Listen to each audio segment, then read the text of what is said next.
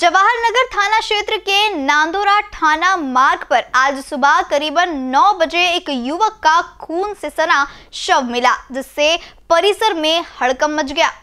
इस संबंध में Jawahar Nagar police station में मामला दर्ज किया गया है। घटनास्थल पुलिस अधीक्षक लोहित मतानी अपर पुलिस अधीक्षक ईश्वर कात खड़े थानेदार सुधीर बोरगुटे इन्होंने घटनास्थल का दौरा किया। जवाहर नगर थाना अंतर्गत पिछले आठ से दस दिनों में हत्या के तीन मामले सामने आए हैं जिससे नागरिकों में दहशत का माहौल है।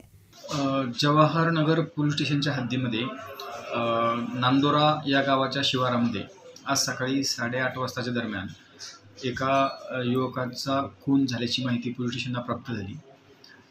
त्या माहितीच्या आधारे पोलीस अधीक्षक श्री लोहित मतानी सर आम्ही ठाणेदार S D P O visit केली असता असं लक्षात आलं की जो मृतदेह आहे तो जिशान गोश मोहम्मद शेख वय वर्ष चौतीस राहणार धारगाव या व्यक्तीचा आहे.